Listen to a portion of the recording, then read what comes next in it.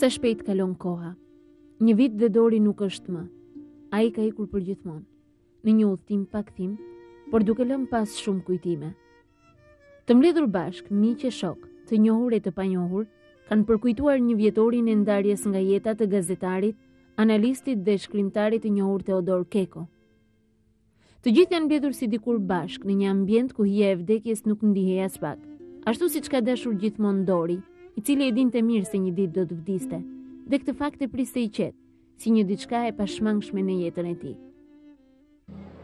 Që nga tetëdhjetë e dyshi kur jemi njohur dhe deri dy ditë para se të vdiste kur kam folë për herë të fundit me të në telefon, kanë qenë të pakta ditët që s'jemi takuar, kemi pirë kafen e mëngjesit bashkë, kështu që them se e njihnim mirë njëri-tjetrin.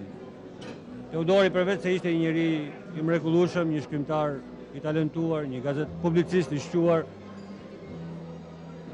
Ishte një karakter i fortë. Ai e dinte që do të vdiste.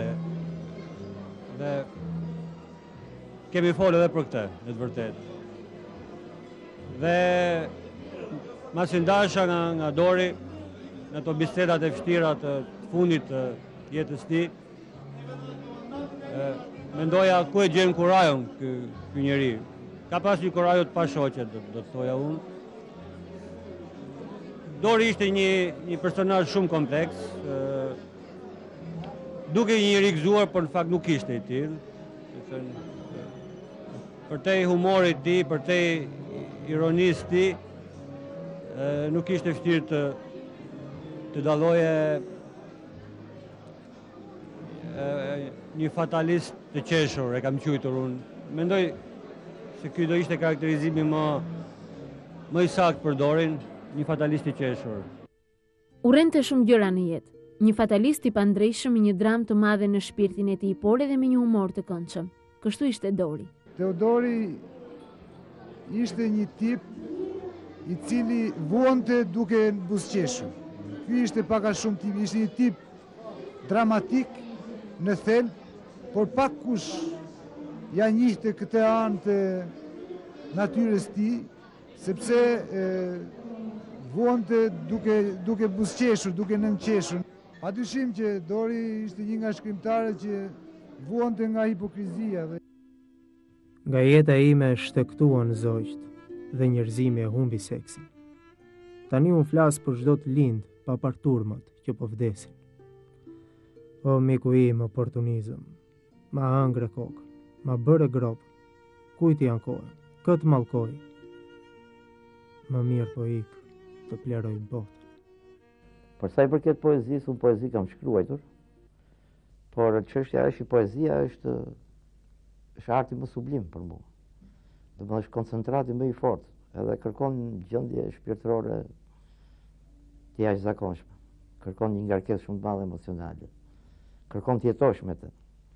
Gjë që unë nuk mund ta bëj dot. Unë nuk kam, nuk e kam për për turp që ta pohoj që Domethënë unë letërsinë e bëj për, për kënaqësinë time, për hobi.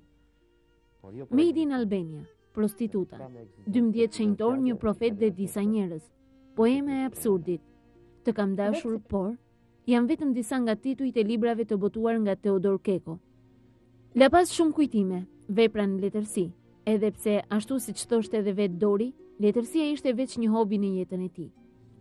Unë nuk jam shkëputur në asnjë moment nga, nga, nga profesioni i gazetarit, edhe kur kam qenë deputet, edhe në situata të tjera që jam ndodhur, sepse ky profesion mua më ka dhënë gjithmonë të ardhura materiale të mjaftueshme që unë të ekzistoj me familjen time, dhe unë të bëj atë jetë që dua.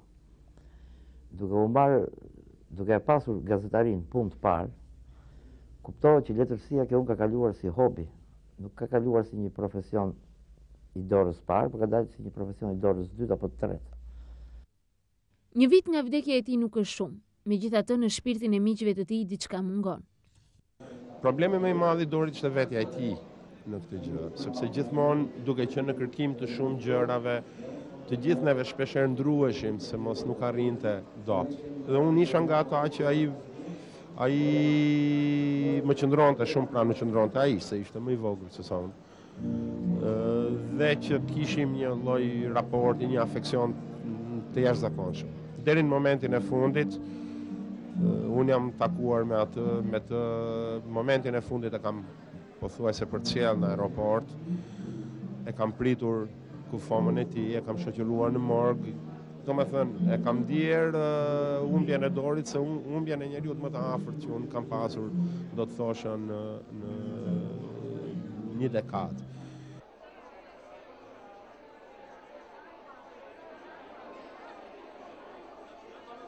E kujtojmë si një njeri me vlera shumë të mëdha dhe kam ndier vërtet një keqardhje, sepse në momentet kur unë e mora vesh dhe i shpreha keqardhjen për sëmundjen, a tha jo. Këto janë budallallëqe mos e, mos e, mos e beso gruan time. Domethënë, këto ishin fjalët e fundit që unë dëgjova nga Dori, dhe e kujtoj si një djalë optimist që dinte t'i kapërcente. Optimist në dukje, se në fakt Dori ka qënë njeri me brenga.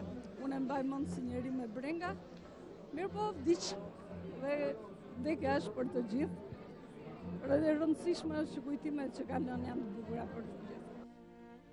Larg syve mbetën buzëqeshjet dhe dashuritë nga zemrat larg. Veç vdekja afër, fare afër me dorën ngritur qëndron në prag. Dëgjoj trokitjen, puthjen ia ndiej, shprishje gjymtyrësh në trupin tim. I dashuruar pas dashurisë, mbeta i veshur me qefin. Sot s'është çudi në prag të jetë duke trokitur vetë dashuria. Por unë s'e njoh, kam frikë, s'hap derën, drejt vdekjes shkoj siç në jetë ika.